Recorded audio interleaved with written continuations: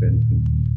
Before we get, before we kick off, I thought I'll bring you into my process, and I'm going to, I'm putting together the, the code, as it were, so that if anybody wants to journey with me, at some point we can start providing masterclass in terms of recording your journey, telling your story, being heard. But the heritage and the stuff that's happening around me inspires me, pushes me beyond, makes me feel somewhat uncomfortable in that space I get created.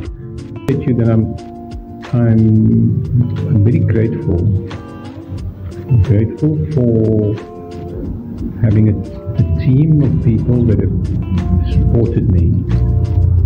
And I want to shout out to my creative team, and there's a bunch of people that are, on that list. I, I never shine the light on my beautiful wife.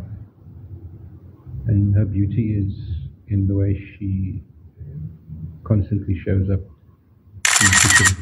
She's, she's really become an artist.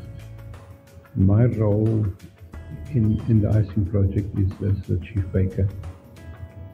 My role is to wash up and clean up afterwards. I got into the kitchen yesterday morning and as I switched the light on at 4 or 5 o'clock, I noticed that the kitchen was clean as the alphabet come.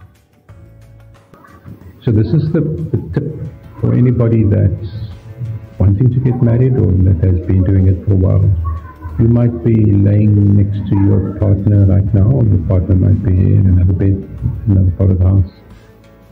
And you can still show up with surprises. And I think Christmas is one of those spaces that it's quite obvious that we want to be surprised with a gift.